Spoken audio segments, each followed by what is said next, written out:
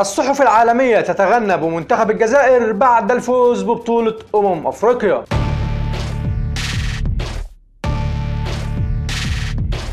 أهلا بيكم. معاكم محمود حجازي. قبل ما نبدأ الفيديو ما تنسوش ال like وال share ولو أول مرة بتشوفونا تعملوا اشتراك في القناة وتفعلوا الجرس علشان يوصلكم إشعار بالفيديوهات الجديدة.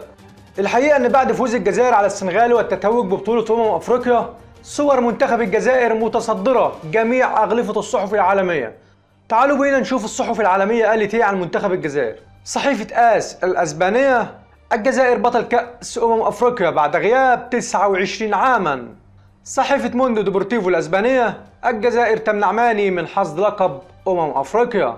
صحيفة ذا صن هدف بونجاح يمنح الجزائر كأس أفريقيا. وساديو ماني يهرب من العقوبة في لقطة الاعتداء على فيغولي.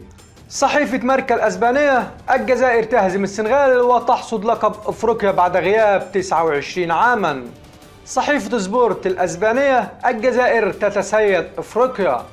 صحيفة ميرور الإنجليزية الجزائر في القمة محرز نجم السيتي يقود الجزائر للنجاح القاري بعد غياب 29 عاما ويؤجل حلم التتويج لماني. صحيفة الكيب الفرنسية الجزائر تفوز على السنغال وتحرز اللقب للمرة الثانية في التاريخ.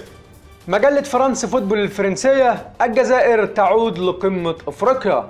دي كانت عناوين وأغلفة الصحف العالمية بعد فوز الجزائر ببطولة أمم أفريقيا. طبعا مليون مبروك للجزائر ومليون مبروك لكل من شجع الجزائر ومليون مبروك لكل من فرح للجزائر. وبكده نكون وصلنا لنهاية الفيديو. ما تنسوش تدعمونا بال like وال share ولو أول مرة بتشوفونا تعملوا اشتراك في القناة وتفعلوا الجرس علشان يوصلكم إشعار بالفيديوهات الجديدة. سلام.